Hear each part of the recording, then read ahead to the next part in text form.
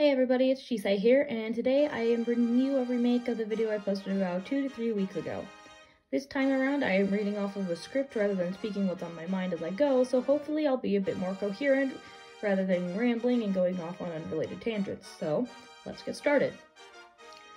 As I said in the last video, I will be arguing for the concept of marching band being a sport, and those who say otherwise are just ignoring pretty clear evidence. So let's look at the evidence I have gathered to show what I mean. First, let's take a look at the definition of what a sport is. According to dictionary.com, a sport is an athletic activity requiring skill or physical prowess and often of a competitive nature, as racing, baseball, tennis, golf, bowling, wrestling, boxing, hunting, fishing, etc. Let's break down this definition into three main points for this argument the requirement of skill, physical prowess, and competitive nature. I've heard many stories of people who look at what marching bands do and say that we're just walking around while playing music. There is far more to marching band than that. My band director would always tell us that it's marching band, not walking band, whenever we weren't using the correct technique. And that statement truly does hold a lot of water. We are not walking, we are marching in a specific style. This style allows us to march around the field while playing our instruments with good musicality, your core has to be strong so your instrument doesn't move around when you're marching. You have to have a specific step size so everyone can go the same amount of distance and look like a cohesive unit while doing so. And you have to hold your instrument up at a certain angle so you're not playing into the ground and facing the crowd.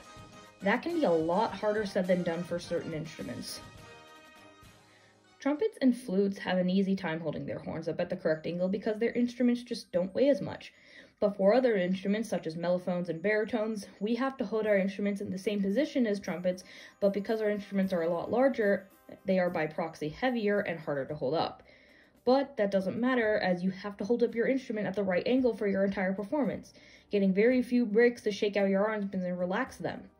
There were even times during practice where my section leader had to tell me to lower my horn angle because I was overcompensating and wanted to make sure I had a good horn angle. When it comes to step size, our director told us that everyone's step size had to be about 22 inches. Average height people and tall people had no trouble with this, as average height people would just have it feel like a normal walking step, and taller people would have a step size just shorter than their normal walking step. But short people would have to have a much larger step size than normal, and that usually doesn't pose a big issue until you have movements in a show where you have to move a really long distance in a short amount of time. It can be hard because everyone's step sizes become a lot larger, but especially for short people. Maybe what I'm saying is difficult to comprehend, so to show you what I mean, here is a clip from the opener of our show from my sophomore year of high school. I circled the general area I am on the field to show you where I started off, and this clip shows how far we had to go. We had to go from about the 15 yard line of the field and have to make it to about the 35 yard line. That's about 20 yards in only 16 counts, which was really fast and it was pretty difficult to get right when we were learning this movement.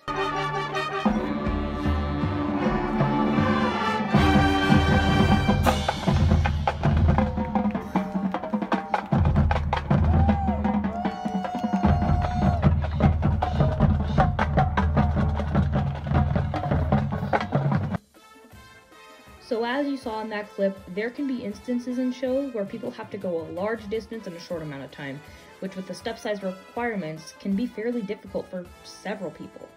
That put together with having to keep your instrument up at a certain angle and having your core stay strong so your horn stays stable poses an interesting challenge.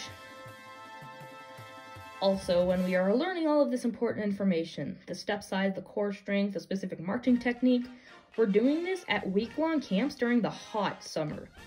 My band had two camps every summer, one in June and one in July. In June, that is when we would usually teach all the freshmen and the other newcomers how to march, and when we all start learning the music for our opener. The days ran from 9 o'clock to about 3 o'clock every day. And then in July, that's when things really ramped up. We continued marching practice in the morning, then we would move to, on to learning our show, and after lunch, we'd go to music sectionals, and then after that, we'd go back outside to start putting everything together music and marching.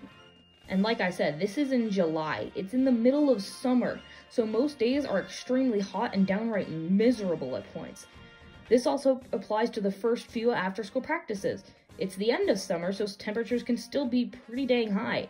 And then when it moves to winter, suddenly you have to shift from wearing shorts, tank tops, and loads of sunscreen every day to jackets, long pants, and loads of layers.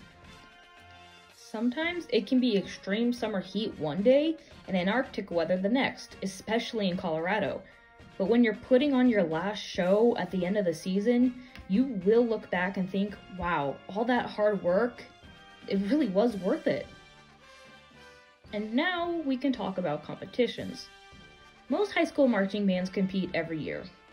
I don't have much personal experience with this side of marching band as my band didn't compete regularly because we were a very big band in terms of normal high school band size. My senior year, we had around 170 to 180 people. Logistically speaking, it's just straight up unrealistic for us to compete on a regular basis. The cost for food, buses, it's just not a real realistic option for our band but most high school bands do indeed compete, sometimes on a weekly basis. And from the one competition my band did end up going to my senior year, I can say that it was really nice and entertaining to see fellow marching band kids show off all the hard work they put into their show for the whole year that far, thus far. So, based on what I've mentioned in relation to the requirement of a certain skill set, the physical exertion slash prowess put forth, and the competitive nature for most bands, I would find it hard to make an argument against marching band being a sport.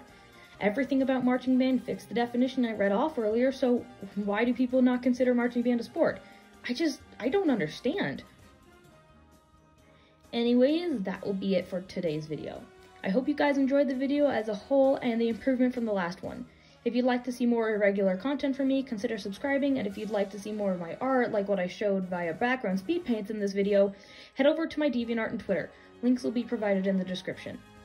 I hope you guys enjoyed this video, and I will see you in the next one.